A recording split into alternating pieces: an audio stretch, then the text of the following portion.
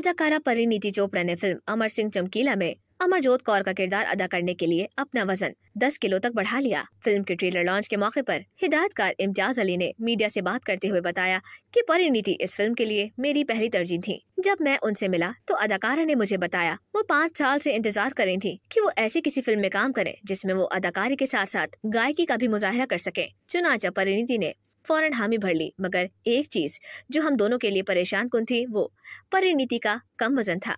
इम्तियाज़ अली ने मजीद कहा कि मैंने अदाकारा को मशवरा दिया कि वो वज़न बढ़ाने के लिए समोसा, मलाई और चाट वगैरह शुरू कर दें, जिनसे उनका वज़न 10 किलो बढ़ गया। फ़िल्म अमर सिंह चमकीला के डायरेक्टर ने मजीद बताया कि कोई लड़की या लड़का कभी भी ये नहीं करना चाहेगा। और ये किसी भी अदाकार के लिए बहुत मुश्किल काम होता है। लेकिन इस पर मैं परिणीति का शुक्रगुजार हूँ, जिन्होंने मेरी बात मान ली। ख्याल रहे कि परिणीति चोपड़ा, इम्तियाज़ अली की फ़िल्म, अमर सिंह चमकीला में दिलजीत दोसांझ के साथ नज़र आएँगी। ये फ़िल्म दो मशहूर पंजाबी गुलकारों, अमरजोत कौर और अमर सिंह चमकीला पर मबनी है। अमर सिंह चमकीला की ज़िंदगी पर बनने वाली ये फ़िल्म बारह अप्रैल को नेटफ्लिक्स पर रिलीज़ की जाएगी।